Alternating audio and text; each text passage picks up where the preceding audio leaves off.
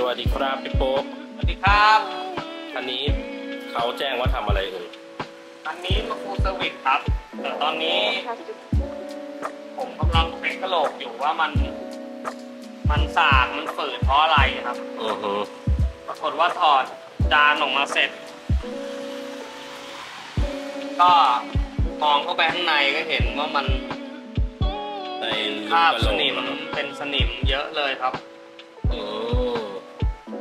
ในเนี้ยครับเนี่ยเยอะเลย เป็นนี่แผเกิงดจากอะไรครับ น่าจะดีดน้ำมาทางนี้ครับ แล้วก็ลงมาตรงนี้ แล้วก็ไหลลงมานี่แล้วก็ขังอยู่อ๋อ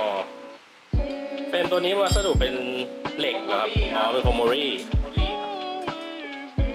บดีอย่างดีครับผม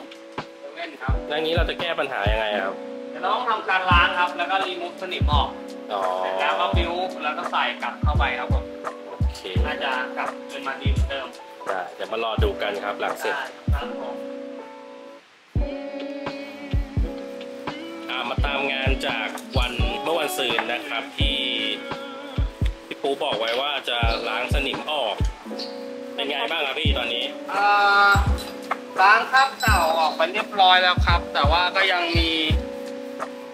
หลงเหลืออยู่บ้างนิดหน่อย แต่ผมไม่อยากไปขัดกลัวผิวที่เคลือบไว้ตรงอื่นมัน เสียหาย ก็คืออย่างนี้เราก็จะแบบว่าสะอาดแล้วไม่มีดินไม่มีเศษฝุ่นเศทาษจาระบีด้วยอะไรอย่างงี้ใช่ครับ แล้วก็ทาผิวเคลือบไว้ให้ด้วยข้างในเกล็ดกระโหลกเลยโอเคครับผมก็เหลือการประกอบจานกลับก็ใช่เรียบร้อยใช่ครับ setting เกียร์ใหม่พร้อมปั่นอะไรอย่างงี้เนาะเยี่ยมครับผมไม่ไม่ไม่ไม่สตาร์ทแล้วครับตอนนี้ อ๋อโอเคขอบคุณครับครับ